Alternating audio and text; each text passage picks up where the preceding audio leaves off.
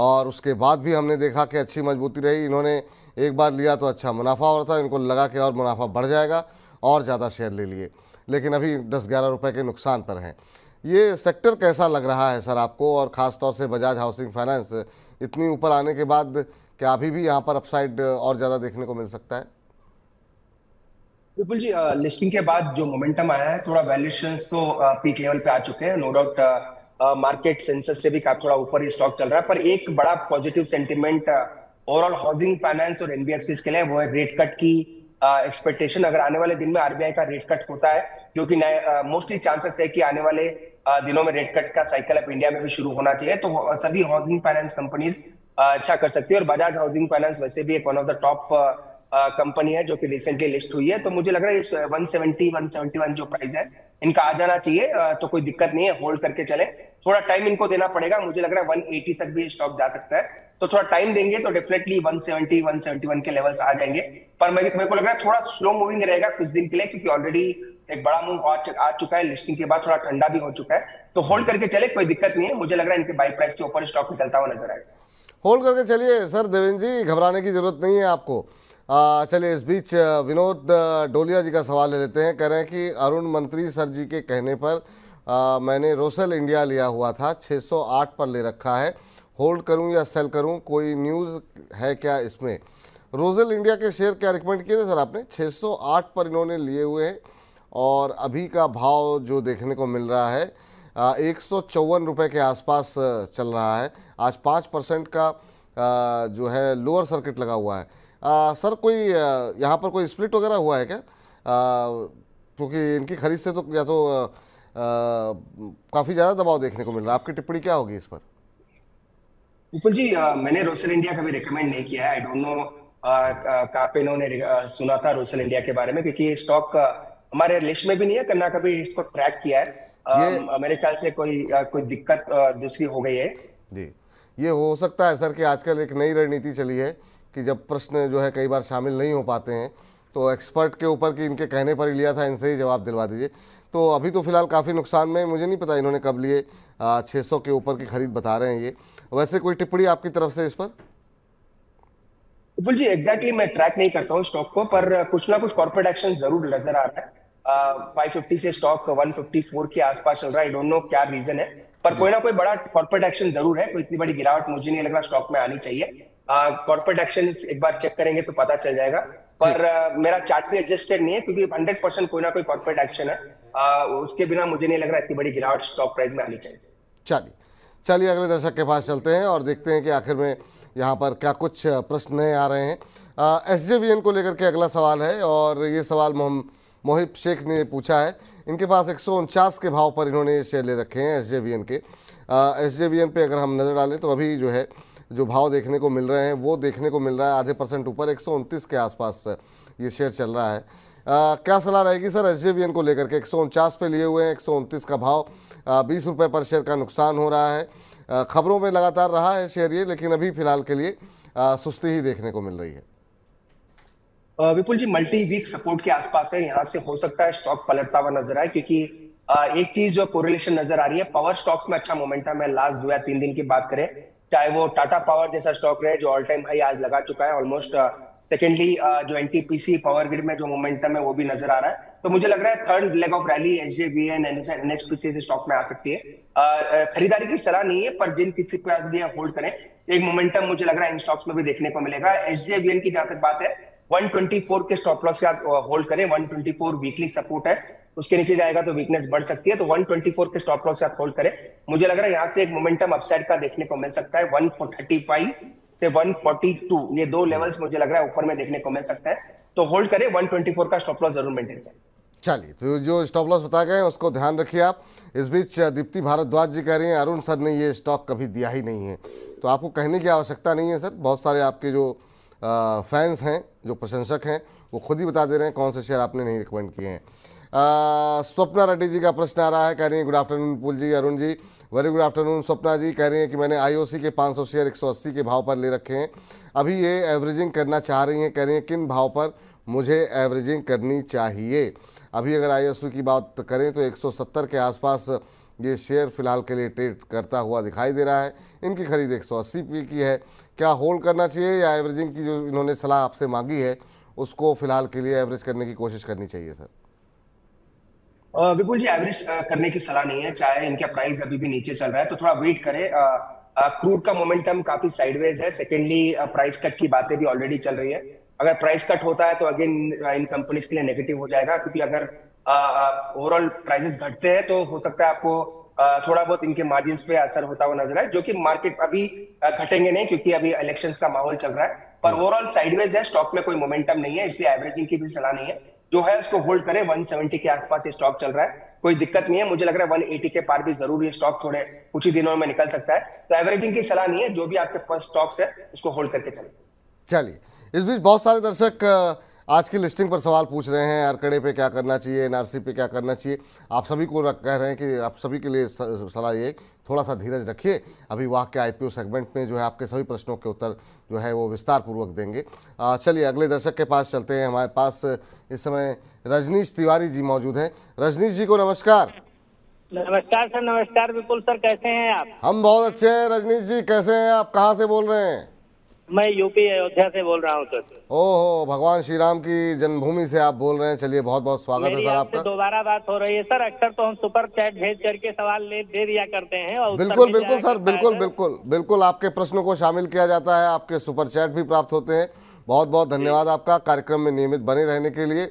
बताइए सर आज क्या प्रश्न पूछ डॉक्टर रवि सर से हमने बीएससी पर अभी पिछले वीक में सवाल किया था जो है बीएससी पर। उसमें हमें सत्तर हज़ार रूपए का प्रॉफिट हुआ। उस सत्तर हज़ार रूपए को हम निवेश एंजल वन में बाईस सौ पचास रूपए के भाव में लिया है। अच्छा तो, तो एंजल वन जी जी। बाईस सौ पचास? जी जी। और कितने समय तक होल्ड कर सकते हैं इसे आप? सर लास्ट ये दिवाली तक हम होल्ड कर सकते हैं। एक कोई टाइट स्टॉप लॉस दिला दीजिए अरुण सर से। जी ठीक है। ये अच्छी ज़्यादा ना सह सके। बिल्कुल और बिल्कुल। एक टारगेट हो जाए कि इस टारगेट तक हम निकल जाएँ।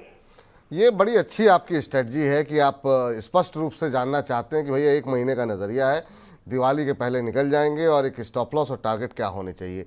पच्चीस सौ छियानवे का भाव अभी है, बाईस सौ पचास के भाव पे आपने लिए हुए हैं। तीन सौ, साढ़े सवा तीन सौ, साढ़े तीन सौ के आसपास का इनको पर शेयर मुनाफा हो रहा है। लॉस में नहीं जाना चाह रहे हैं सर तो कोई ट्रेलिंग स्टॉप लॉस या स्टॉप लॉस क्या इन्हें आप सजेस्ट करेंगे ताकि इनका मुनाफा सुरक्षित रहे। और यहाँ से क्या टारगेट आपको दिखाई दे रहे हैं? शेयर पे अगर हम नए डालें तो जो है पिछले अगर हम देखें पाँच छः महीने में थोड़ी सुस्ती ज़रूर दिखाई है। चार साढ़े चार परसेंट का निगेटिव रिटर्न यहाँ पर रहा है। आपकी सलाह क्या रहेगी एंजल वन को लेकर के? विपुल जी पहले तो आ, काफ़ी अच्छा लगा इन्होंने एक अच्छी स्ट्रेटेजी बनाई है। नो डाउट जो भी प्रॉफिट इनको आया है वापस एक अच्छे स्टॉक में रिकमेंड किया है। और, और एक चीज़ मैं बता दूँ एंजल वन हमने लॉन्ग टर्म में रिकमेंड करके रखा है। ऑलमोस्ट चौबीस सौ चौबीस सौ के लेवल के आसपास ही रिकमेंड किया है। क्योंकि स्टॉक में एक बड़े करेक्शन के बाद जब सेबी का रेगुलेशन आया था कंसल्टेशन पेपर आया था एफ़ एंड ट्रेडिंग के वक्त, जब से स्टॉक में मोमेंटम है, अभी थोड़ा साइडवेज है नो डाउट इन्होंने 2250 के आसपास खरीदा है तो 2400 का एक ट्रेलिंग स्टॉप लॉस ज़रूर मेंटेन करें, मुझे लग रहा है ये स्टॉक तीन हज़ार की तरफ़ जाने के लिए तैयार है तो थोड़ा टाइम दे, एक से दो महीने का टाइम मिनिमम लेके चले, मुझे लग रहा है ट्वेंटी नाइन हंड्रेड से तीन हज़ार तक के लेवल्स आपको इंजल वन में देखने को मिल सकते हैं तो अच्छी स्ट्रेटेजी इन्होंने की है और नीचे में भी अच्छे लेवल पे बाई किया है। चौबीस सौ का एक ट्रेनिंग स्टॉप लॉस ज़रूर मेंटेन करें। प्रॉफिट लॉक करना काफ़ी ज़रूरी है। ऊपर में ट्वेंटी नाइन हंड्रेड से तीन हज़ार, ये दो टारगेट मुझे लग रहा है। एक से दो महीने के अंदर स्टॉक में देखने को मिल सकते हैं। तो काफ़ी अच्छा स्टॉक खरीदा है और अच्छे लेवल के आसपास खरीदा है। तो यहाँ से दो सौ रुपए और आपको स्टॉक में करंट चल से देखने को मिल सकता है। ठीक। तो उम्मीद करते हैं कि आपको आपके प्रश्न का उत्तर मिल गया होगा यहाँ पर तिवारी जी। और इस बीच अगला प्रश्न जो हमें भेजा गया है, वो प्रश्न भेजा गया है हरिओम आर्यन जी की तरफ़ से। कह रहे हैं, लगता भी हमें भी लगता है कि हमें भी पैसे ही भेजना पड़ेगा, फिर हमारा सवाल लेंगे आप। ऐसी बिल्कुल कोई बात नहीं है सर, कैसी बात कर दी आपने? कह रहे हैं, मैं पाँच हफ़्ते से क्वेश्चन पूछ रहा हूँ। अभी रोजारी बायोटेक के ऊपर इनका प्रश्न है कि यहाँ पर क्या व्यू निकल करके आ रहा है। चलिए तो पहले इनके प्रश्न का उत्तर लेते हैं, लेकिन हरिओम जी, देखिए, प्रश्न लिया जाए, ना लिया जाए, एक अलग विषय हो सकता है। लेकिन ये कहीं से अभी तक कंपल्शन नहीं है कि आपको अगर प्रश्न भेजें पैसे भेजेंगे तो आपका जो है वो सवाल लिया जाएगा। नौ सौ तिरालीस पे अभी चल रहा है। मुझे आपकी खरीद का भाव नहीं पता है कि आपने किस लेवल पे ले रखे हैं या फिर आप लेना चाह रहे हैं। लेकिन सर रोजारी बायोटेक अभी आधा पौना परसेंट के आसपास की आज मजबूती देखने को मिल रही है। इस शेयर पर नज़र डालें तो पिछले छः महीने में करीब उनतालीस परसेंट के आसपास का रिटर्न यहाँ पर आता हुआ दिखाई दिया है। आ, क्या भविष्य दिखाई दे रहा है इनके लिए आपको? ये विपुल जी 942 के आसपास चल रहा है। स्टॉक टेक्निकली अच्छा है। थोड़ा वॉल्यूम्स काफ़ी कम है तो वो एक चीज़ का ज़रूर ध्यान रखें। स्टॉक मज़बूत है टेक्निकली और 980 से 1000 तक के लेवल्स देखने को मिल सकते हैं जो कि चार्ट में अगर जो मेरे इंडिकेटर्स बता रहे तो एक हज़ार तक के लेवल ज़रूर स्टॉक में देखने को मिल सकते हैं। तो स्टॉक को होल्ड करें 910 का स्टॉप लॉस लगा के रखें। एग्जैक्टली इनका बाई प्राइस मेरे ख्याल से इन्होंने बताया नहीं है पर 910 का एक सपोर्ट है। उसी का स्टॉप लॉस मेंटेन करें एक हज़ार तक के टारगेट स्टॉक में देखने को मिल सकते हैं। ठीक। नेहा आर्या जी का सवाल है गुड आफ्टरनून विपुल सर और नरुण सर। नेहा जी आपको भी वेरी गुड आफ्टरनून कह रहे हैं आपका प्रोग्राम बहुत ही ज़्यादा हेल्पफुल है। हम सभी के लिए शुक्रिया नेहा जी इतनी अच्छी टिप्पणियों के लिए। पीएफसी के ऊपर इनका प्रश्न है पचास शेयर ले रखे हैं और 494 की भाव पे इन्होंने ये ख़रीदा हुआ है पीएफसी का शेयर इरडा पे हमने बात कर ली एस पे बात कर ली। आ, तो ज़रा थोड़ा सा पावर पे और बात कर लेते हैं पीएफसी पे सर 490 ये मौजूदा भाव देखने को मिल रहा है और इनकी खरीद का जो भाव इन्होंने बताया है, वो चार सौ चौरानवे है। तीन चार रुपये के नुकसान पे है, शॉर्ट टर्म व्यू है, ये भी स्पष्ट है। तो अभी क्या सलाह रहेगी? और जो लोग मध्यम से लंबी अवधि के लिए यहाँ पर निवेशित हैं, उनके लिए भी राय बता दीजिए। और ओवरऑल पावर में क्या व्यू निकल के आ रहा है? क्योंकि पीएसयू पावर में, क्योंकि उसमें एनएचपीसी एक ऐसा शेयर है, जो कि लंबे समय से लोगों को थका रहा है। विपुल जी आरईसी पीएफसी अच्छे सपोर्ट के आसपास है कि किसी को भी लॉन्ग टर्म के लिए बाई करना है। मिनिमम 9 से 12 महीने के लिए भी बाई करना है तो ये अच्छे लेवल्स के आसपास है यहाँ पे बाई करके चल सकते हैं।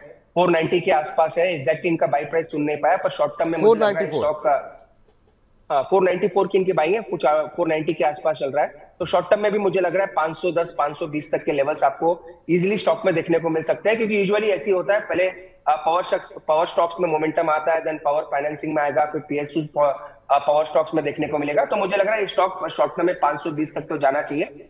लॉन्ग टर्म में भी किसी को एक्यूमुलेट करना है तो अच्छे लेवल्स के आसपास है। इसके जो वीकली सपोर्ट्स है, वो 480 490 के आसपास है। उसी के आसपास स्टॉक चल भी रहा है। तो कोई दिक्कत नहीं है, इनके, इनकी बाइंग प्राइस 494 की है। फाइव ट्वेंटी तक के टारगेट्स के लिए होल्ड करें शॉर्ट टर्म में। अगर कोई मीडियम टर्म लॉन्ग टर्म के लिए बाई करना चाहता है तो मुझे लग रहा है 550 560 तक के भी लेवल्स करंट लेवल से देखने को मिल सकते हैं। तो अच्छे लेवल्स के आसपास है, यहाँ से मुझे लग रहा है अपसाइड मोमेंटम स्टॉक में देखने को मिल सकता है। चलिए तो ये राय फ़िलहाल पीएफसी के लिए निकल करके आ रही है। सर एनएचपीसी बहुत परेशान कर रहा है। एनएचपीसी पे क्या करना चाहिए? नब्बे से सौ के बीच में, बानवे से सौ के बीच में ऐसा फंसा हुआ है। कि लोग समझ नहीं पा रहे हैं कि एक बार के लिए निकल जाए क्या? विपुल जी आपने सही कहा एनएचपीसी काफ़ी लोग इसमें ट्रेडर फ्रेंडली रहे पर स्टॉक में लास्ट पाँच या छह हफ्तों का मूवमेंट देखे तो 102 से कंटिन्यूस 93 94 के आसपास आ चुका है। कोई मोमेंटम नहीं है, अगेन एक ही सही, एक ही चीज़ बचा सकती है, जो पावर स्टॉक में करंटली जो मोमेंट है, अगर उस वजह से कोई मोमेंटम आता है तो हो सकता है 97 98 मैक्स वहाँ तक जा सकता है, वहाँ पे जाता तो एक बार का पोजिशन को हल्का कर ले। पर मुझे नहीं लग रहा अभी कोई मोमेंटम आएगा। कोई वॉल्यूम का भी एक्शन नहीं है प्राइस का भी एक्शन नहीं है और सभी मूविंग एवरेजेस के नीचे है। तो विपुल जी, मुझे लग रहा है इमीडिएट टारगेट अगर देखे तो 98 के आसपास है और स्टॉप लॉस 90 रुपीज़ वैसे तो स्टॉप लॉस इसका ऑलरेडी ट्रिगर हो चुका है, पर अगर किसी ने अभी भी ले रखा है तो 90 का एक फाइनल स्टॉप लॉस स्टॉक में निकल के आ रहा है। ठीक सर। इस बीच हमारे एक दर्शक ने प्रश्न भेजा हुआ है मोरपन लैब के ऊपर। और मोरपन लैब में कल कुछ एक खबरें थी, काफ़ी एक्शन देखने को मिल रहा था। सैयद हैदर साहब हैं और कह रहे हैं, good afternoon sir, Morepen labs पर क्या व्यू है? क्या इसमें अभी भी न्यू एंट्री कर सकते हैं क्या? सात से आठ महीने का व्यू है। कितने टारगेट तक का एक्सपेक्टेशन कर सकते हैं? कल क्वेश्चन पूछा था और आज पर पाँच परसेंट ऊपर है। बिल्कुल सही बात है सर। कल भी एक्शन देखने को मिल रहा था। आज भी एक्शन में है मोरपन लैब और आज पौने चार परसेंट ऊपर अभी देखने को मिल रहा है। ऊपरी स्तरों से फिसला है। अठासी नवासी नब्बे के आसपास चल रहा है सर। आ, क्या करना चाहिए? मोरपन लैब फार्मा के अंदर बहुत सारी खबरें रहीं और काफ़ी सारे शेयरों में काफ़ी अच्छा मूव दिया है। और इस शेयर में भी काफ़ी अच्छा मोमेंटम जो है वो बनता हुआ दिखाई दिया है। अभी क्या करें? क्या एक बार के लिए फ्रेश एंट्री के लिए जगह दिखाई दे रही है आपको? सौ एक सौ एक के आसपास से नीचे आया। फिर से उस तरफ़ बढ़ता हुआ दिखाई दे रहा है। विपुल जी, मुझे लग रहा है एक बार वापस ये स्टॉक 95 97 तक के जाने के लिए तैयार है, क्योंकि ट्वेंटी डे मूविंग एवरेज से स्टॉक पलटा है। एग्जैक्टली न्यूज़ मैंने कल ट्रैक नहीं किया। अगर पॉजिटिव न्यूज़ डेफिनेटली रही होगी और मुझे लग रहा है स्टॉक यहाँ से 95 96 तक के लेवल्स के लिए जा सकता है। एक ही चीज़ का ध्यान रखें स्टॉक काफ़ी वोलेटाइल रहता है। नो डाउट ट्रेंड पॉजिटिव है। अगर लेना है तो 86 के स्टॉप लॉस के साथ बाई करें। नाइनटी फाइव से 98 तक के टारगेट रहेंगे। शॉर्ट टर्म के लिए बाई करना है तो स्टॉप लॉस ज़रूर लगाए। 86 के आसपास और 95 से 98 तक के ऊपर में टारगेट रहेंगे। चलिए शॉर्ट टर्म के लिए बाय करना है तो एक स्टॉप लॉस अवश्य लगाएँ। इस बीच एक हज़ार से ज़्यादा दर्शक सिर्फ़ हमारे यूट्यूब के माध्यम से हमारे साथ जुड़े हुए हैं। इसके अलावा हमारे फेसबुक हमारे ऐप पर भी बड़ी संख्या में दर्शक जुड़ रहे हैं। तो आप सभी को बहुत बहुत धन्यवाद हम लोगों को समर्थन देने के लिए।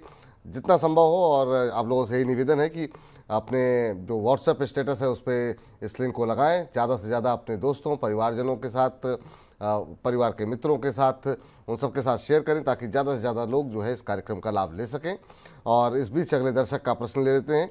अगले दर्शक जो हैं राकेश रे जी हैं। कह रहे हैं कि, साहब गुड मॉर्निंग दोनों बड़े हस्तियों को। आपको भी बहुत बहुत नमस्कार, सर, राकेश जी। कह रहे हैं कि प्लीज़ जो है आईआरएफसी के बारे में बताइए 200 शेयर हैं। पैंतीस रुपये के पैंतीस रुपये के इन्होंने लिए हुए हैं आईआरएफसी तो काफ़ी लंबे समय से सर ये होल्ड कर रहे हैं आईआरएफसी को लेकर के और अब जानना चाह रहे हैं कि आईआरएफसी में क्या करना चाहिए। एक सौ रुपये का भाव पैंतीस रुपये की इनकी खरीद है। निश्चित रूप से काफ़ी अच्छे मुनाफे में हैं। अभी जानना चाह रहे हैं कि क्या स्ट्रेटजी होनी चाहिए। आ, सर पाँच गुना हो गए हैं पैसे कहाँ पे एग्जिट करना चाहिए इन्हें? या अभी होल्ड करके रखें? विपुल जी ज़्यादा कुछ खोने के लिए इनके पास नहीं है। पैंतीस रुपए का भाव है और 158 के आसपास है। नो डाउट इन्होंने काफ़ी 220 तक के भी लेवल ज़रूर देखे हैं, क्योंकि रिसेंट हाइज 220 225 के आसपास रहे हैं। तो वहाँ से स्टॉक ज़रूर 158 159 हुआ। अभी भी इनके अगर आप गेंस देखें तो चार से पाँच गुना ऑलरेडी गेंस इनके बने हुए हैं। तो कोई दिक्कत नहीं है विपुल जी, यहाँ से भी मुझे लग रहा है अगर मोमेंटम आता है तो वापस स्टॉक में एक ट्रेंड ज़रूर देखने को मिलेगा, क्योंकि काफ़ी दिनों से स्टॉक में करेक्शन है और यहाँ से ऊपर जाने के चांस काफ़ी ज़्यादा है, क्योंकि जब भी रेलवेज में मोमेंटम आता है, एक या दो दिन जब मोमेंटम बनता है तो काफ़ी बड़ा मोमेंटम बनता है। तो वैसे भी इनके लिए स्टॉप लॉस देने के लिए भी कोई वजह नहीं है, क्योंकि पैंतीस रुपए का भाव है, भाव के आसपास इन्होंने खरीदा वो एक सौ साठ के आसपास चल रहा है। इमीडिएट टारगेट जो विपुल जी, मुझे नज़र आ रहा है, अगर मोमेंटम आता है तो 180 तक स्टॉक में वापस रिवर्सल ऊपर का तरफ़ देखने को मिल सकता है। तो कोई दिक्कत नहीं है। अगर इनको थोड़ा बहुत भी अगर लगता है कि स्टॉक में और गिरावट आ सकती है तो अपना कॉस्ट का जो पैसा है वो निकाल सकते हैं। तो पैंतीस रुपए के आसपास की इनकी जो कॉस्ट के जो जितने शेयर इन्होंने खरीदे हैं, वो निकाल सकते हैं। पर बाकी मुझे लग रहा है स्टॉक में अभी भी एक मोमेंटम बन सकता है आने वाले दिनों में। और इमीडिएट तौर पर वन एटी तक के टारगेट देखने को मिल सकते हैं। 180 190 तक के टारगेट देखने को मिल सकते हैं। ये फ़िलहाल आईआरएफसी पे राय निकल करके आ रही है। मोहम्मद अशरफुल साहब ने मनी नाइन को भेजे हैं सौ रुपये और कह रहे हैं कि अदानी पावर में फ्रेश बाइंग करना चाह रहे हैं ये छः महीने के नज़रिए के हिसाब से और जानना चाह रहे हैं कि क्या अभी ये फ्रेश एंट्री के लिए ये जगह सही है। छः सौ चौहत्तर का भाव यहाँ पर देखने को आ, मिल रहा है। अगर हम देखें तो इस शेयर में करीब एक महीने के अंदर करीब एक दो परसेंट के आसपास की रैली देखने को मिली है। अदानी पावर, निजी क्षेत्र में पावर कंपनियों को लेकर के आपका व्यू क्या है? और अदानी पावर, सुजलॉन जैसी कंपनियाँ आपको क्या लगता है पोर्टफोलियो में रखनी चाहिए? हालाँकि रिलायंस पावर पे बात तो हम करेंगे बजिंग स्टॉक्स में। Vipul ji Adani power definitely buy करके चल सकते हैं। काफ़ी दिनों के अंडर परफॉर्मेंस के बाद एक बेस फॉर्मेशन देखने को मिल रहा है। एक ही चीज़ का ध्यान रखें बांग्लादेश की तरफ़ से भी काफ़ी न्यूज़ फ्लोज ऑलरेडी चल रहे हैं। और ये ग्रुप में भी काफ़ी न्यूज़ फ्लो चलते रहते हैं तो वो एक चीज़ का ज़रूर ध्यान रखें। सिक्स सेवेंटी फोर के आसपास है सिक्स फिफ्टी टू का स्टॉप लॉस बैठेगा, जो कि थोड़ा दूर है, पर स्टॉप लॉस छह सौ बावन का बैठेगा। ऊपर में सेवन थर्टी से सेवन फोर्टी तक के टारगेट स्टॉक में देखने को मिल सकते हैं। तो डेफिनेटली शॉर्ट टर्म के लिए बाय करें सिक्स फिफ्टी टू के स्टॉप लॉस बाय करके चल सकते हैं। सेवन थर्टी सेवन फोर्टी तक के टारगेट देखने को मिलेंगे। ओवरऑल स्टॉक का स्ट्रक्चर थोड़ा अच्छा अभी थोड़ा सुधरा है, और यहाँ से मुझे लग रहा है तीस से चालीस रुपए का मोमेंटम देखने को मिल सकता है। चलिए तो ये राय जो है दानी पावर पर निकल के आ रही है और बिल्कुल जो है बांग्लादेश वाले मामले पर आज यहाँ पर अपडेट भी रही है और कहा यह गया कि अगर बांग्लादेश का विवाद जल्दी नहीं सुलझता है तो जो एक्सपोर्ट ये बांग्लादेश को कर रहे हैं, उसे फिर घरेलू कंपनियों को, घरेलू भारत के बाज़ार में ही उसे बेचने की कोशिश की जाएगी। आपको बता दें कि ये Godda thermal power plant Jharkhand का जो है, उससे जो है ये बांग्लादेश को जो है बिजली सप्लाई करते हैं लेकिन वहाँ पर जो है काफ़ी सारी समस्याएँ आ रही हैं। इसकी वजह से इस पर विचार किया जा रहा है। तो ये राय फ़िलहाल निकल करके आती हुई। सचिन हमारे साथ जुड़ चुके हैं अगले दर्शक। सचिन जी को संदीप माफ़ कीजिएगा। संदीप जी को नमस्कार। सर नमस्कार। नमस्कार संदीप जी कहाँ से बोल रहे हैं? कैसे हैं आप? जोधपुर राजस्थान से बोल रहे हैं और अमिताभ बच्चन जी को नमस्कार। अरे सर ये तो मतलब आप कैसी बात कर रहे हैं। चलिए मतलब को फॉलो कर रहे हैं और वैसे से इक्विटी मार्केट में पदार्पण किया है सर। अरे सर बहुत अच्छी बात है सर। कैसा अनुभव रहा पदार्पण करने का? सर बहुत बढ़िया बहुत बढ़िया सर। दोपहर में कई बार बिज़ी होते हैं नहीं देख पाते हैं तो शाम को रिपीट टेलीकास्ट देखते हैं सर। चलिए सर थैंक यू कि आप रिपीट टेलीकास्ट देखते हैं। बहुत लोग तो शिकायत करते हैं कि आप बेवकूफ़ बनाते हैं आपने दोपहर के शो को आप कह रहे हैं कि ग्यारह मिनट पहले। वो उसकी वजह यही है कि फ्रेश अपलोडिंग से जो लोग नए लोग हैं उनको थोड़ा सा एक राहत मिल जाती है और उनको एक रफ आइडिया मिल जाता है। और भले ही शेयर का भाव ऊपर नीचे हो लेकिन एक राय तो मिल ही जाती है कि अगर आपके पास वो शेयर है तो क्या करना चाहिए क्या निर्णय होना चाहिए। आपका प्रश्न क्या है सर? सर मेरे मैंने वीपी आरपीएल के शेयर ले रखे हैं hundred share at the rupees two fifty अच्छा अच्छा। समय सीमा की कोई प्रॉब्लम सर। तो आगे में थोड़ा व्यू चाहिए था सर का। अच्छा। तो क्या सोच के लिया था कितने समय मतलब मतलब कि, किस किसी खास कारण की वजह से? तो अच्छी कंपनी के हिसाब से देख के थोड़ा। अच्छा अच्छा। चलिए ठीक है विष्णु प्रकाश के ऊपर जरा देखते हैं क्या स्थिति अभी देखने को मिल रही है। पचास शेयर आपके पास है दो सौ पचास के भाव पर। और अभी आपने देखें तो दो सौ उनतीस तीस के आसपास चल रहा है। बीस रुपये के नुकसान पे है पर शेयर। नज़रिया क्या बताया सर आपने? सर लॉन्ग टाइम के लिए कोई टाइम की कोई लिमिट नहीं है। लॉन्ग टर्म चल जी जी जी। इस शेयर में भी काफ़ी अच्छी रैली आई और उसके बाद से जब नीचे आने लगा वहाँ पर आपने थोड़ी सी एंट्री ली हुई है। आ, सर रिकवरी कब तक आएगी विष्णु प्रकाश के अंदर? क्या इनका निर्णय सही है? आ, रुक सकते हैं अभी लंबे समय के लिए। विपुल जी स्टॉक डेफिनेटली अच्छा है फंडामेंटली भी अच्छा है वाटर ट्रीटमेंट वगैरह के बिज़नेस में भी है। इंफ्रास्ट्रक्चर स्टोरी है तो मुझे लग रहा है काफ़ी अच्छा है टेक्निकली भी। थोड़ा साइडवेज है पर मुझे लग रहा है टेक्निकली आने वाले दिनों में इसका चार्ट सुधर सकता है। एक चीज़ का ध्यान रखें, अगर इनके पास कैपिटल है और लगा सकते हैं तो 220 22 के आसपास आता है, जो कि 100 है मूविंग एवरेज है। वहाँ पे आता तो और ऐड करें, ताकि इनका एवरेजिंग प्राइस नीचे आ जाए। तो 220 222 के आसपास आता है तो एवरेजिंग की सलाह है, नीचे में स्टॉप लॉस जो लगाना है, वो 208 के आसपास लगाना है। 208 एक बड़ा सपोर्ट है। 210 एक बड़ा सपोर्ट है, दो रुपए उसके नीचे स्टॉप लॉस लगाए। पर मुझे लग रहा है यहाँ 220 222 से स्टॉक पलट के वापस एक बड़ा मूव दिखा सकता है। तो चूँकि इनकी बाइंग काफ़ी ऊपर की है तो 220 22 आता है तो ऐड करें। अ, मुझे लग रहा है वापस ये स्टॉक 265 270 तक की तरफ़ जाने के लिए तैयार है। तो आने वाले कुछ दिनों में अच्छा मोमेंटम देखने को मिल सकता है। पर अगर कैपिटल लगा सकते हैं तो 220 222 के आसपास ज़रूर एवरेज करके चल सकते हैं। नीचे आता है 220 222 के आसपास एवरेज करके ज़रूर चल सकते हैं। ये आपके लिए राय निकल करके आती हुई। ओला इलेक्ट्रिक के ऊपर अगला प्रश्न जो है हमें भेजा गया है और ये पूछने वाले हैं हमारे दर्शक सुनील बिश जी। कह रहे हैं नमस्ते विपुल जी और अरुण जी, मैं मुंबई से हूँ। बहुत अच्छी बात है, सर। कह रहे हैं, ओला इलेक्ट्रिक, ये स्टॉक पे कौन सा प्राइस में बाय करना चाहिए लॉन्ग टर्म इन्वेस्टमेंट के लिए? ये जो एक क्षेत्र है रिन्यूएबल एनर्जी को लेकर के, बहुत लोग काफ़ी बुलिश दिखाई दे रहे हैं। यहाँ पर भी लिस्टिंग अच्छी रही, उसके बाद भी लोगों ने शेयर प्राइस को काफ़ी बढ़ाया।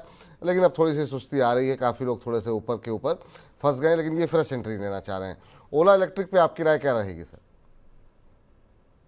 विपुल जी अगेन ये स्टॉक ऐसा स्टॉक है जो काफ़ी ट्रेडर फ्रेंडली या फिर इन्वेस्टर फ्रेंडली दोनों ही तरफ़ से रहा है और लिस्टिंग के बाद भी एक बड़े गेंस दिखाता हुआ नज़र आ रहा है। पर जो भी चार्ट मेरे पास अवेलेबल है, क्योंकि फंडामेंटली तो कोई ट्रैकिंग नहीं है, पर जो भी चार्ट अवेलेबल है 102 103 के आसपास एक बड़ा सपोर्ट है स्टॉक में। क्योंकि रिसेंटली लिस्टेड है, कोई बड़ा डेटा अवेलेबल नहीं है, पर 102 103 आता है। तो वहाँ पे वहाँ पे एक बार्गेन आप कर सकते हैं 102 103 के पास बाई करके चले। वहाँ से लग रहा है एक वापस एक रिवर्सल देखने को मिल सकता है, क्योंकि वो एक, आप कह सकते हैं, अभी तक जितने चार्ट बने हैं, उसका हंड्रेड डे मूविंग एवरेज 102 103 के आसपास है। और वहीं से यूजुअली स्टॉक्स पलटते हुए नज़र आते हैं। तो अगर इनको बाई करना है तो 103 के आसपास करें। मुझे लग रहा है वहाँ से रिस्क रिवॉर्ड काफ़ी फेवरेबल है। ऊपर में 112 115 तक के इमीडिएट टारगेट बन सकते हैं। तो अच्छे गेंस अगर बनाने हैं तो डिप में बाई करें 102 103 के आसपास। स्टॉप लॉस जो लगाना है वो एक गैप बना हुआ है 99 के आसपास। तो 99 के स्टॉप लॉस के साथ बाई करें 103 के आसपास आता है तो ऐड करें। 112 से 115 के इमीडिएट टारगेट करें 112 से 115 के इमीडिएट टारगेट निकल करके आ रहे हैं। इस बीच जो है अगले दर्शक हमारे साथ प्रदीप जी जुड़ चुके हैं। प्रदीप जी को नमस्कार। नमस्कार विपुल सर नमस्कार। कैसे हैं प्रदीप जी? कहाँ से बोल रहे हैं? सर सर मैं उत्तर प्रदेश के जिला बुलंदशहर से बात कर रहा हूँ। सर मैं आपका बहुत ही आभारी हूँ कि आपके मार्गदर्शन में मैं बहुत ही अच्छा कर पा रहा हूँ अपना पोर्टफोलियो क्रिएट करके। धन्यवाद सर कि आप कार्यक्रम में के नियमित दर्शक बने हुए हैं लगातार। बहुत बहुत अच्छा लगता है आप लोगों से बात करके। बताइए सर क्या प्रश्न है आपका? सर मेरा भी प्रश्न ये है कि मैंने वॉर रिन्यूएबल के शेयर लिए हुए हैं चालीस अठारह सौ दस के रेट पे। तो अभी ये बीच में डाउन भी गया था बट फिर से जो मेरा रेट था उसी पे आ चुका है। तो अभी मैं इसमें क्या करूँ सर? आगे क्या रहे चलिए ठीक है आज तो पाँच परसेंट का अपर सर्किट है अठारह सौ दस पे ले रखे हैं उन्नीस सौ नब्बे का भाव यहाँ पर देखने को मिल रहा है। आ, वारी रिन्यूएबल टेक्नोलॉजीज़ ना? जी जी वॉर रिन्यूएबल और वैसे आप कितने समय तक होल्ड कर सकते हैं? सर होल्ड मेरा पोर्टफोलियो मेरा तो लॉन्ग पर्सपेक्टिव ही है जो भी। मैंने अपने होल्डिंग बनाई हुई है सभी में। चलिए ठीक है लंबी अवधि के लिए होल्ड कर सकते हैं और बहुत सवाल आ रहे हैं सर आजकल वारी रिन्यूएबल पे जो है और जहाँ कहीं भी हम देख रहे हैं कि रिन्यूएबल शब्द का इस्तेमाल हो रहा है। काफ़ी सारे आ, लोगों का रुझान जो है वो वहाँ बनता हुआ दिखाई दे रहा है। आ, सर पिछले एक महीने में बयालीस परसेंट चल गया शेयर। ये अभी प्रॉफिट में है। क्या कोई ट्रेलिंग स्टॉप लॉस देंगे ताकि अपना मुनाफा ये सुरक्षित रख सकें? या फिर अगर लॉन्ग टर्म का व्यू है तो भूल जाना चाहिए।